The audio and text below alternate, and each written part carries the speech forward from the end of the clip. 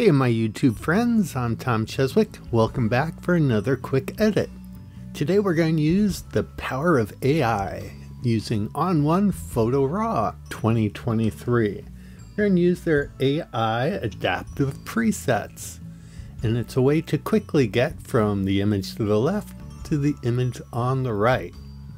Let's take a look on how to do this. So we're in the browse mode. We're just going to take it into edit First step, since it's a raw image, is to assign a camera profile by default ON1 standard selected, but that's not always the best choice.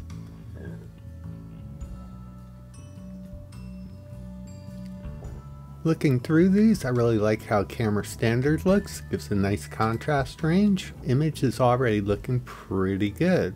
We went from here to here just by applying a camera profile. Next, let's go into the AI adaptive presets. We'll go down to the tab in the lower left corner.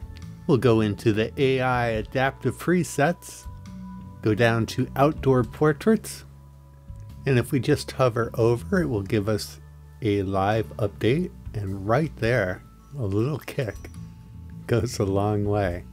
And that's adding quite a bit. It is we go into effects, it added some dynamic contrast, it did a tone enhancer, and it did um, some portrait retouching.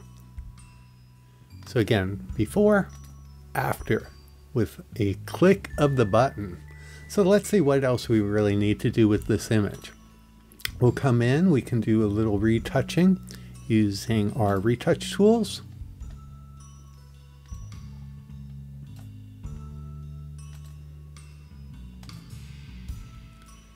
And right there, that's looking great. We'll hit done. Using the scroll wheel to move in and out. Let's see, we could do just a touch more even. Same retouch.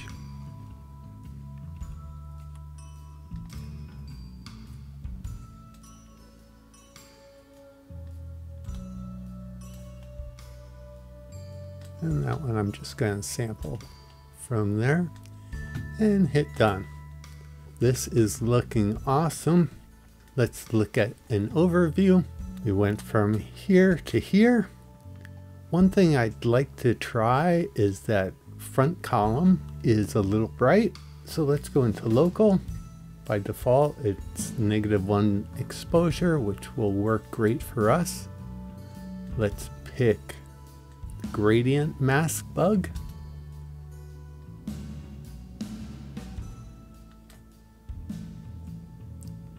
And put that right there. Again, before, after. Wow, she just pops off the page in just a few clicks. That is amazing. Let's hit done. All right. And a pro tip. Now that we have the image just how we want, we use the AI adaptive presets, all we have to do is highlight any other images we want to add that effect to. Go down to sync, hit apply, and wow, we went from here to here. It does reset gradient mask, so if we want that in, we do have to go into edit, select the gradient bug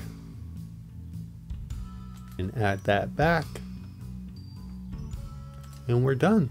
And just like that, we were able to use the AI adaptive presets, syncing it from one image to the next image and having fantastic results with a click of the mouse. I'm Tom Cheswick and thanks again for joining me today.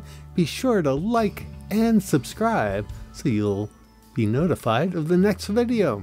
Take care.